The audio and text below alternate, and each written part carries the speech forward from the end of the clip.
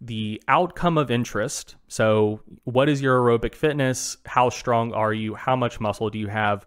Seems to be associated with larger differences in all cause mortality than the actual training to promote those things. So, basically, having really high levels of aerobic fitness is predictive of a pretty large reduction in all cause mortality.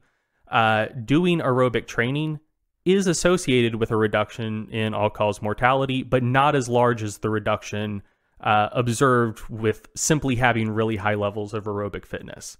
Same thing with resistance training. Doing resistance training is associated uh, with reductions in all cause mortality rates, but those reductions don't seem to be as large as the simple difference in mortality between people who are just very strong in old age and people who aren't. So, you know, the, the characteristic is predictive of uh, pretty large differences in mortality. The actual training to promote the adaptations uh, uh, related to those physical characteristics are also associated with reductions in all cause mortality, but not as large as just differences in the characteristic itself. And so I think that's worth noting. So one, like the the stuff with resistance training, it's it's not just kind of a one-off thing. We see something very similar with cardio as well. Um, and I think that the question raised uh, has a pretty ha- has at least one uh, potential and I think very likely answer. So you know if if being stronger and having more muscle is predictive of lower rates of all cause mortality, um, you know why isn't resistance training and and as much of it as possible predictive of similarly large reductions in all cause mortality? And, I think that's just because when you're dealing with those characteristics, you know, not who's training for what, but just simply as you're entering old age, who has higher aerobic fitness, who has more muscle mass, who has more strength. I think that's more just reflective of genetics, but also lifestyle kind of throughout your entire life. So, you know, if you're, um, if you hit like 60, 70, you're still, you still have a fair bit of muscle, you're still in pretty good shape. More often than not, that means you've lived a generally healthy, generally active lifestyle up to that point.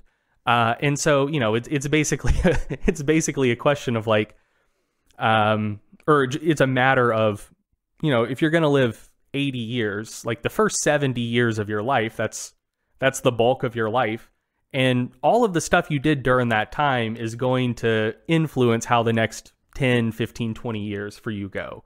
Versus, you know, if you lived a generally inactive, not particularly healthy life for the first 70 years of your life, and you pick up some resistance training, pick up some cardio, that is probably going to be good for you, but it, and, and I certainly wouldn't discourage people from doing that, but it's probably not going to be quite as helpful as it would have been to have been more active for the previous 70 years. And so I, I think that's basically what's going on. And the other thing to note is that especially for the metas and uh, and cross sectional studies that are looking just at you know do people with more muscle mass live longer than people with less muscle mass?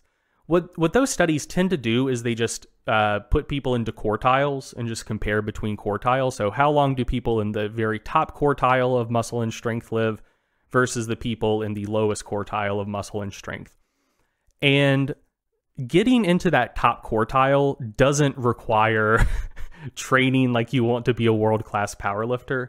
So just think about everyone you know in their 60s and 70s, uh, and just think like, hey, where where would the 75th percentile of muscle and strength fall? You know, like probably a very small minority of people you know who are approximately that age are still legitimately super strong and jacked. Like, you know, most of them like people people who probably haven't even lifted weights and are just like kind of active would probably be be in that top quartile.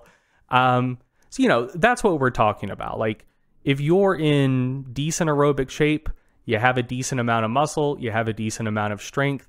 That tends to be reflective of of living a pretty good life up to that point. And being in good shape, having more muscle, having more strength, being predictive of lower rates of all cause mortality doesn't necessarily imply that training to maximize your aerobic fitness, you know, like trying to set the the marathon world record for people in the 80 year old age class, uh, or you know, trying to absolutely maximize muscle and strength. It, it's it's not necessarily implied that you need to do those things to reap the longevity benefits of generally being in good aerobic shape, generally having a decent bit of muscle, generally having a decent bit of strength. Like there's there's that disconnect between the physical characteristic itself, which, you know, training does go into, but also just your lifestyle throughout your entire lifespan and your genetics. Like all of those things affect that versus just the training component itself. So it's it's logical to assume that if you train for a particular physical outcome and that physical outcome itself is predictive of all cause mortality, the training itself will be similarly predictive of shifts in all cause mortality of a similar magnitude, uh, but that that just isn't the case.